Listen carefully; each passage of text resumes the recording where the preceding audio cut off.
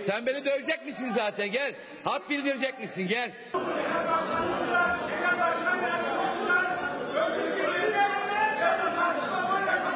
MHP'lilerin hedefindeki isim CHP Grup Başkan Vekili Engin Altay. E bir dinleyin. Gel. Gel. Gel. Gel. Otur yerine. Otur yerine. Otur yerine. CHP ile MHP bir kez daha karşı karşıya geldi.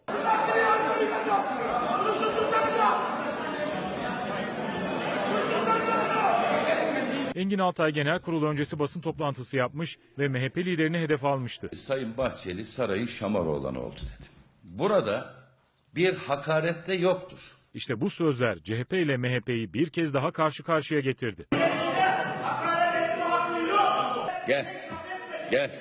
Gel. Gel. Otur yerine. Otur Sayın yerine. milletvekili. Otur yerine.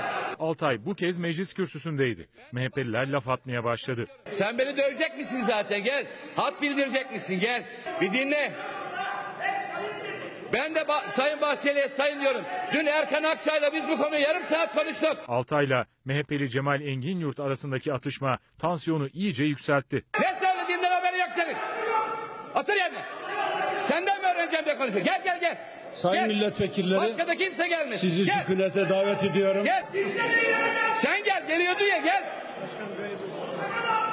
Birleşimi 5 dakika kapatıyorum. Oturumu yöneten Meclis Başkan Vekili Celal Adan tansiyonu düşürmek için oturuma 5 dakika ara verdi ama tam tersine CHP ve MHP'li milletvekilleri birbirine girdi.